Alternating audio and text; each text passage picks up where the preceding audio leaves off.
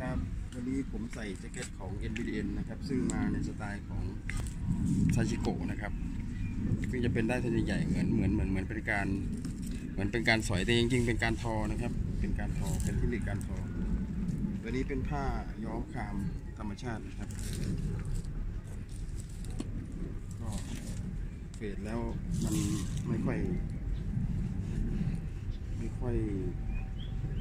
ไม่ค่อยมีมิติเท่าไหร่นะครับ สีมันจืดไปหน่อยนะครับกางเกงนี่เป็นของเอชาครับสไตล์เดียวกันเนี้ยเข้ากันกับเสื้อเลยนะครับ ตัวนี้ใส่ไปประมาณเดือนเดือนนึงนะครับ แต่ว่าใส่น้อยใส่ประมาณอาทิตย์ละสองวันนะครับ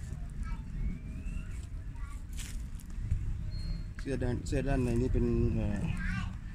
เสื้อย้อมคามธรรมชาตินะครับ จากชูชัยนดิโก้นะครับ ซึ่งเอามา เอามาเทสนะครับ ว่าเวลาเฟดแล้วมันจะเป็นยังไง ตัวนี้ใส่ไปประมาณอาทิตย์นึงได้นะฮะประมาณเกือบอาทิตย์นะครับ ก็สิ่งที่มันที่ผมชอบตัวนี้ก็คือมันไม่มีกลิ่นนะครับ ใส่แล้วใส่ประมาณสี่ห้าวันเหงื่อชุ่มๆเนี่ยไม่มีกลิ่นเลยนะครับ ก็ผมว่าก็ถือว่าดีนะครับ ซึ่งปกติใส่เหงื่อเหงื่อโชกอย่างเงี้ยมันต้องมีกลิ่นครับ แล้วเดี๋ยวถ้าเกิดว่ามันเฟดหรือมันยังไงจะจะมาอัปเดตให้ดูอีกรอบหนึ่งนะครับ